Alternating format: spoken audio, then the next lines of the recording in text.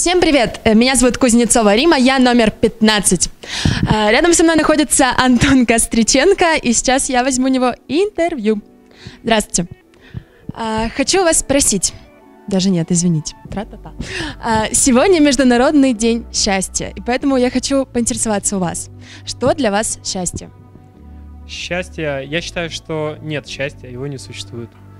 Есть момент, который называется момент счастья. Это тот самый момент, в котором ты находишься и в котором ты вот максимально счастлив.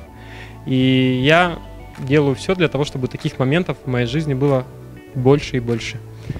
Спасибо. Э, Следующий мой вопрос. Скажите, пожалуйста, э, какую мечту детства вы воплотили в реальность? Мечту детства. Да, в детстве я хотел очень сильно помогать людям, и мне кажется, что сейчас я эту мечту воплотил в реальность.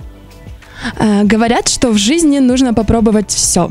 Скажите, пожалуйста, есть ли что-то, чего бы вы никогда не попробовали?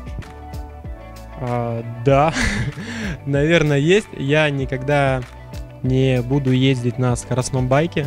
Я никогда не буду летать на на вин, вин- винсью, как он называется? А?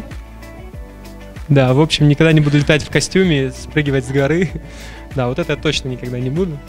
А все остальное постараемся выполнить. Я поняла. В общем, итог такой. Вы бы не сделали того, чтобы повредило вашей жизни каким-то образом, что подвигает жизнь вашу риска, верно? Да, ну хотя я занимаюсь экстремальными видами спорта, прыгал с парашюта, с роуджампинга, летал на воздушном шаре и в горах достаточно опасно, но этими видами спорта я бы не занимался чисто принципиально. Понятно. Спасибо. А с вами была Кузнецова Рима. До встречи.